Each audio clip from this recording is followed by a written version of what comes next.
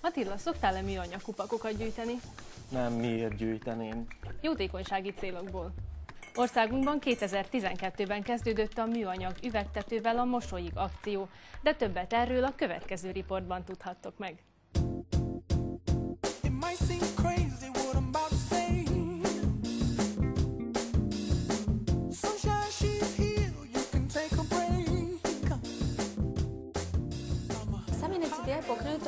Maga a kezdeményezés szlovéniai ismerőseinktől származik, akik megkértek bennünket, gyűjtsünk üvegkupakokat, és így módon járuljunk hozzá egy szlovéniai jótékonysági akcióhoz, amelyel fogyatékkal élő gyermekeknek segítenek.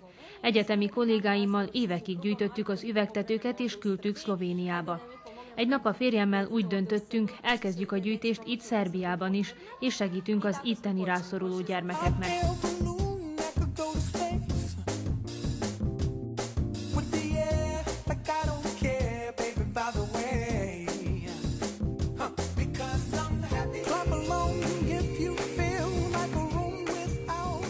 Ima nas u skoro u svim većim gradovima. Naši volonteri se sami javljaju. Önkénteseink maguktól jelentkeznek.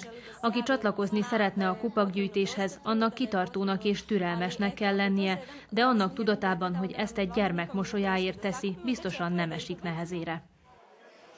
Az akció segítségével eddig két gyermeknek sikerült megfelelő tolószéket, illetve más számukra alkalmas eszközt biztosítani. Ehhez viszont sok kupak szükséges.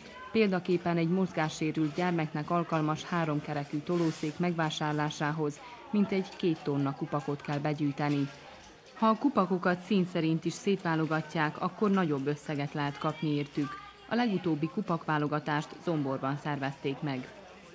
Trenutno se čepovi sakupljaju za dečaka Dragana. iz Jelenleg a zombori Dragan Krgának gyűjtjük a kupakokat, akinek speciális háromkerekű kerékpárra van szüksége. Továbbá a Futaki Natasa Minicsnek, akinek a ima mozgás problema u gyakorláshoz kretanju, szintén egy tricikli kell. A kerékpár sokat jelentene, mivel nem tudok önállóan mozogni.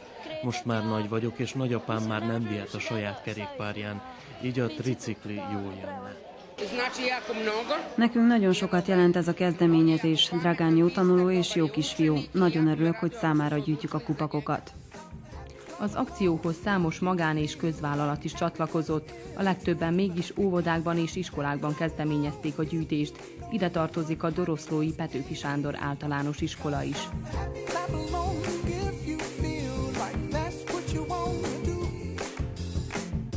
Valahol a télen, tehát november és december folyamán kolléganőnk, szertanárnő Cserfej Lídia ötlete, fejéből született meg az ötlet, hogy bekapcsolódjunk ebbe az akcióba, gyerekeknek segíteni.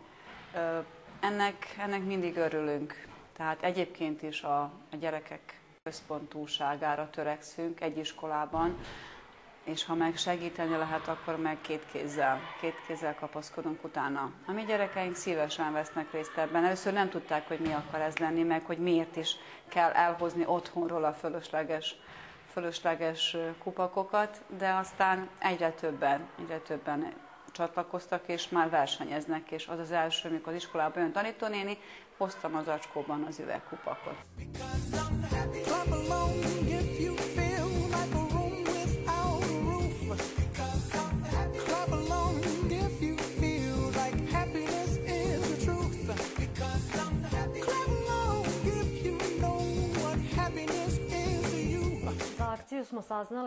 Az akcióról a Vajdasági Televízió riportjából értesültünk. Az ötlet nagyon megtetszett, és elhatároztuk, hogy a mi iskolánkban is elkezdjük a gyűjtést.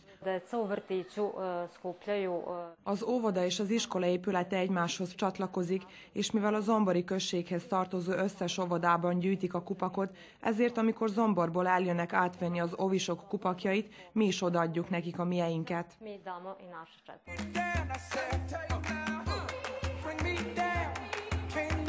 Doroszlóról pincét településre látogatunk, ahol a kupakgyűjtés eredményeként egy kisfiú számára sikerült megvásárolni a megfelelő iskolaasztalt.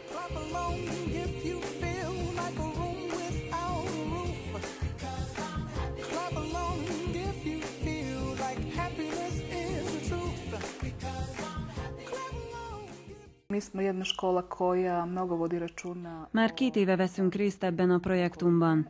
Iskolánkban nagy hangsúlyt fektetünk a környezet megóvására és a hulladék újrahasznosítására. Így egyértelműen csatlakoztunk a kupakgyűjtéshez is. A fő célunk az volt, hogy egy dolgozóasztalt vásároljunk Dávid Mernyik tanulónknak. A diákoknak eleinte furcsa volt a kezdeményezés. Miután azonban ismertettük velük a gyűjtés célját, előbb Dávid osztálytársai csatlakoztak, majd a családtagjaik és végül a többi tanuló is. Vanya Petkovics projektum koordinátor segítségével végül az egész helyi közösség részt vett a gyűjtésben.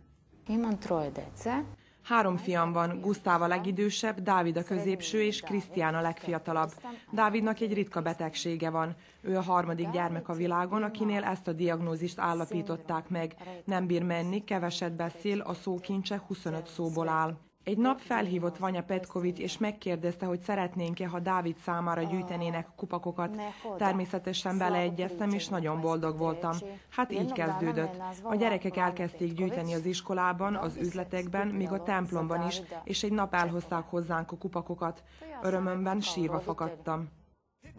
A kupakok segítségével Dávidnak egy dolgozóasztalt vásároltak, így a Bácspalánkai Speciális Iskola mellett a Pincédi Általános Iskolába is járhat. A tanítónénie és az osztálytársai segítenek neki betűket és szavakat tanulni.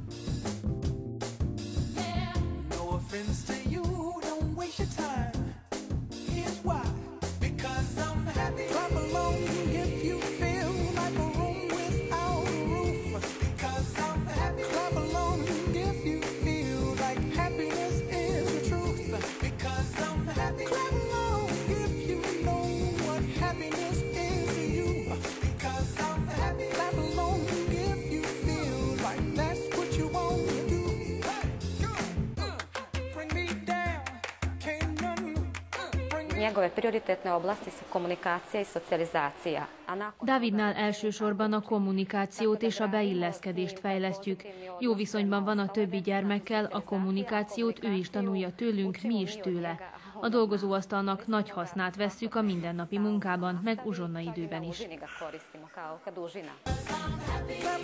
Pincéden és számos más településen továbbra is gyűjtik a kupakokat. Ha ti is szeretnétek csatlakozni az akcióhoz, bővebb információt a projektumról a képernyőn látható honlapokon tudhattok meg.